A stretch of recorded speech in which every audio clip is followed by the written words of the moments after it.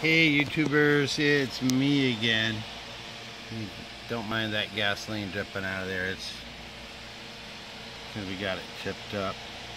Hey, we got another one. Um, this is MTD. Um, this look looks.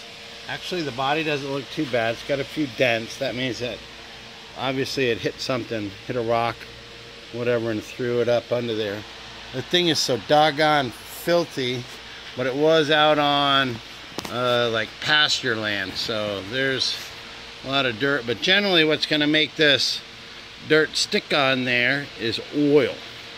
Okay, so the good news and the bad news is there's a lot of crap stuck to this, but if you clean it off, look how clean that tank looks. Look how this, look how good this badging looks over here.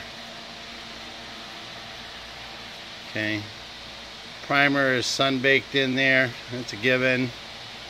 Gas tank does have its little uh, cork seal in there. That gas is actually helping to clean this off a little bit. And then uh, I look down inside the carburetor and if we can look down inside of there it is actually pretty clean. So what I mean by clean is, is that for one, it wasn't just sucking a lot of dirt down in there, but they, they did have the filter on it. It can't breathe for, for nothing. It's just totally clogged, but, but there's no oil stuck down in the, in the bottom. So generally if there's a ring problem, it's gonna blow by here and it'll it'll always leave a little deposit down in there. So that's a positive note. Uh, the same old usual over here in the carburetor the throttle area and stuff. The springs are all jacked. You got this up here like this. What's going on with that? But here's the funny part is that it's uh, I'm not sure about that governor. It seems a little flimsy inside of here, so we'll have to get the lid off and take a look at that. I'm not going to bore you guys after the last one that we just went through and everything, but just to give you an idea like what we're looking at, I mean, this one's a beast. It's going to go to power wash, pull the shroud, and then power wash again down inside. But down under here, it has got quite a bit of hay or hay string, whatever, all stuck on it um, it, it's not too bad, but sometimes they work their way up to that seal up there, and then that'll end up ruining that seal. So we're gonna clean that off. I'm willing to bet you any amount of money that this is the original blade. It was a mulcher, but if you can see up here where my finger is, all the wings are, uh, they're just worn off. Because like normally as like, as the regular part of the mower blade goes straight through, that piece is kicked up and so that catches all the sand all the debris and everything. Plus it does double duty when it's mulching you know grass that has dirt in it and stuff. It just wears them down. So probably gonna end up replacing that blade.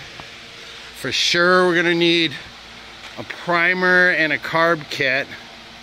And uh, the only thing that really kind of makes me wonder what the heck is if you look up under here maybe the shadow helps or makes it worse this is all pristine clean in here. It's not dirty at all. So somebody, it's missing the pull starter, but somebody's been in here not too long ago. Um, nothing else. I got it for five bucks. I also got a Homelite weed eater with awesome compression. I'm pretty sure we'll be able to fix that. But like, I need this. I need this cable over here, anyways. So I should be able to get that. That was worth the five bucks to me anyway. So there's a, nothing else. There's new, there's another carburetor. There's another gas tank. Uh, that would be a head if I ever needed it, even the body. So again, it's going to be worth something. The wheels are all in great shape. I can't believe that for being stuck out in the sun.